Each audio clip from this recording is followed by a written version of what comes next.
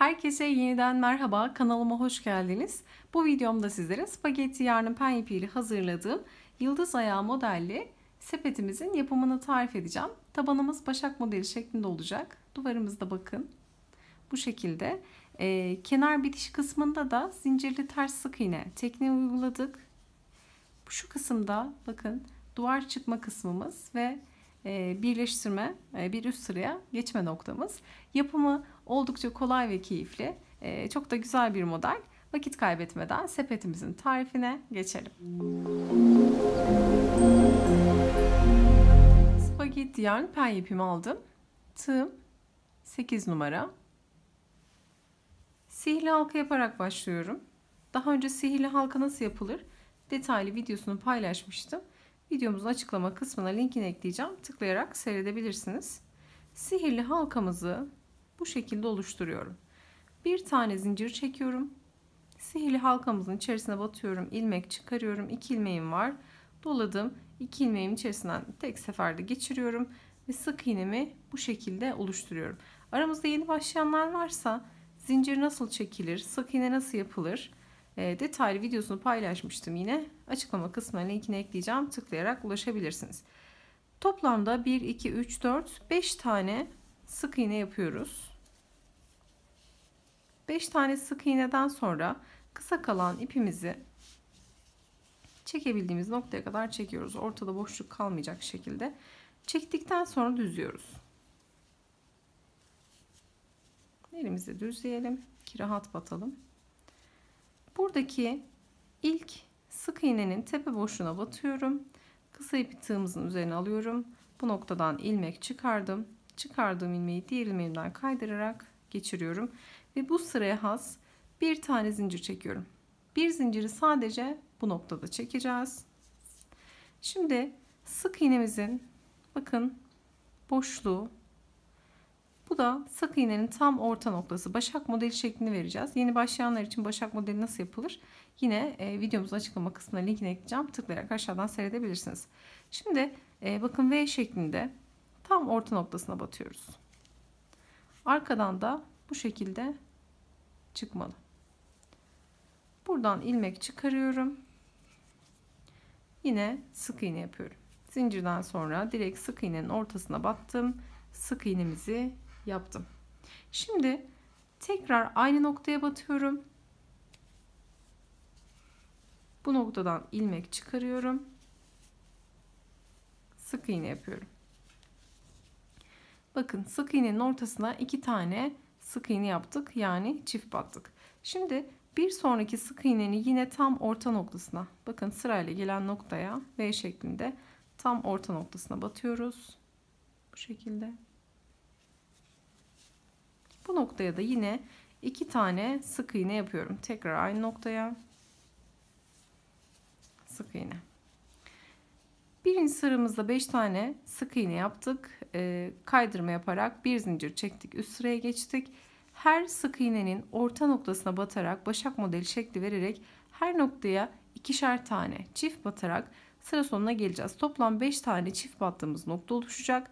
Son noktaya birlikte batıp gizleme ve birleştirme yapıp bir üst sıraya birlikte devam edeceğiz. 1, 2, 3, 4. Şimdi 5.yi batalım birlikte. Bakın sırayla gelen şu şekilde. 5. noktamıza da batıyorum. Bir tekrar aynı noktaya sık iğnemizi yapıyoruz. Çift battık. Şimdi burada bir tane zincir çekmiştik. Bu zincirin direkt dibine batıyorum bakın.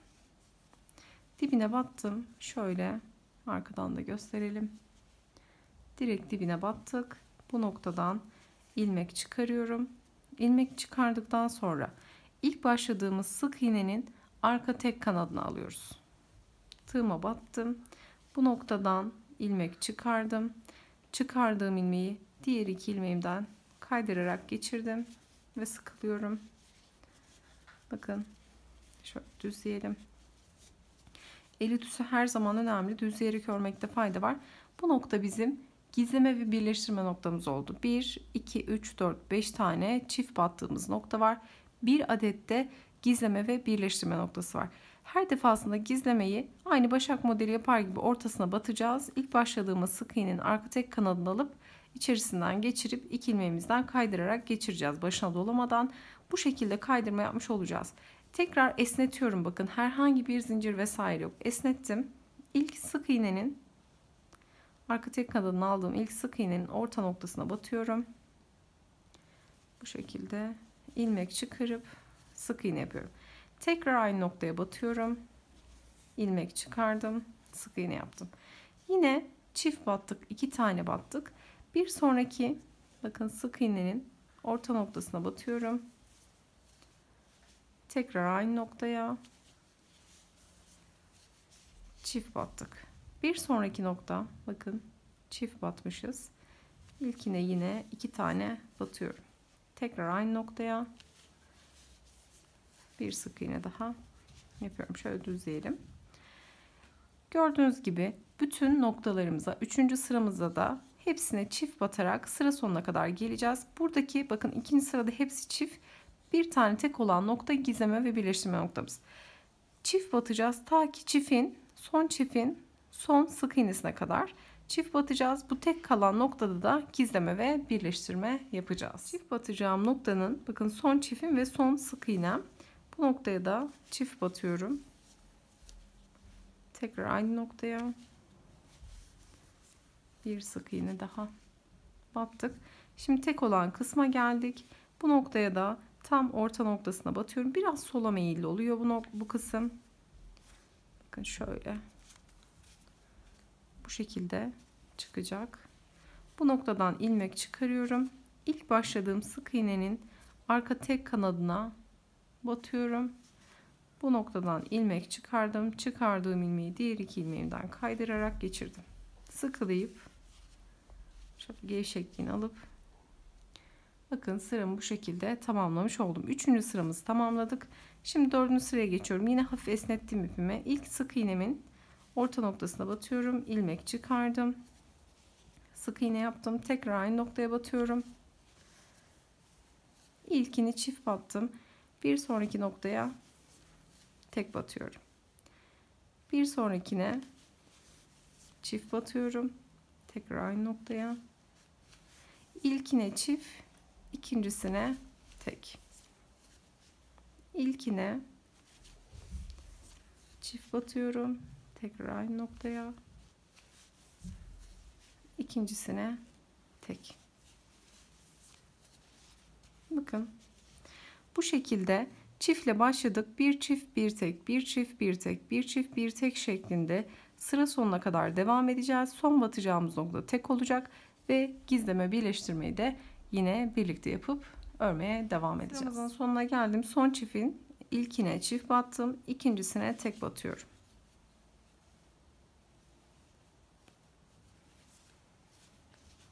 İkincisine tek battım. Şimdi bu sıra benim son sıram olacak. Ben e, bu sepetimi 4 sıradan oluşturacağım. E, her zaman sepet örerken e, bu püf, püf noktadır. Sıra sonunu hep çiftle bitirin. Yani e, aralara tek atacağız. Daha önce e, videolarımızı seyredenler bilecektir.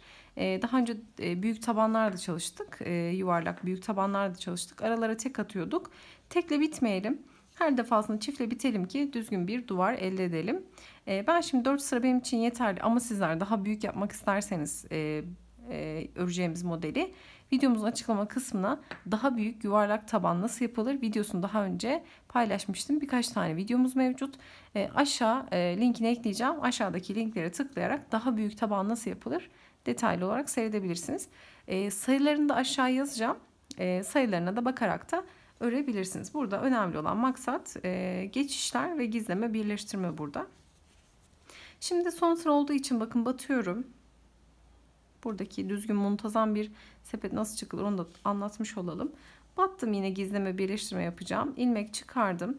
Arka tek kanadını alıyordum. Şimdi bir sıram olduğu için ilk sık iğnenin boşluğuna batıyorum. İkisine birlikte battım. Arka tek kanadına değil ikisine birlikte battım. Bu noktadan ilmek çıkardım. Çıkardığım ilmeği diğer iki ilmeğimden kaydırdım. İlmeğimi hafif esnettim. Tığımdan bıraktım. Örgümü çevirdim. Tersten ipin geldiği noktadan tığımı geçiriyorum. Geçirdikten sonra bıraktığım ilmeği tığımın ucuna taktım.